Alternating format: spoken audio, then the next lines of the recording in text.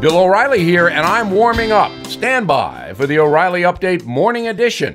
But first, many timeshare owners upset their yearly dues continue to increase. Lone Star Transfer is the only company you can trust guaranteeing the release of all liability to your timeshare in writing and in a specific time frame. They've helped more than 18,000 owners legally and permanently get out. So start off the new year right with a free no obligation consultation 855-551-7066 or lonestartransfer.com. lonestartransfer.com.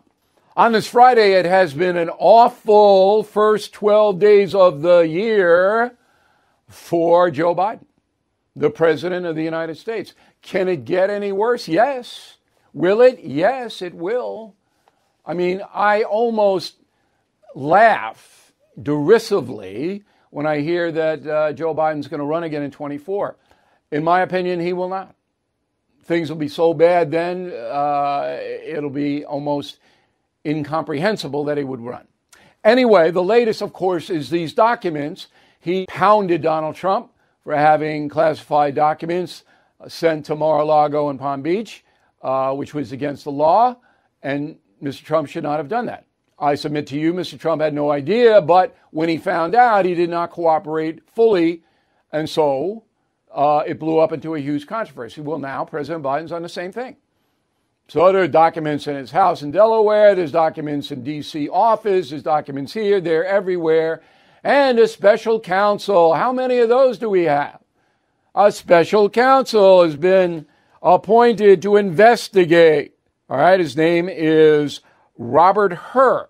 Okay, so he joins John Durham and a guy investigating Trump, and I don't even know how many of these people there are. It will all lead to nothing. And Donald Trump is the luckiest guy in the country right now because they can't prosecute him on any document thing because Biden did the same thing. And again, this will all amount to nothing. Now, this. No question, there is a concerted effort to intimidate and silence conservative thinkers and replace our God given individual liberty with big government controls. AMAC the Association of Mature American Citizens is the leading conservative advocacy and benefits organization in America.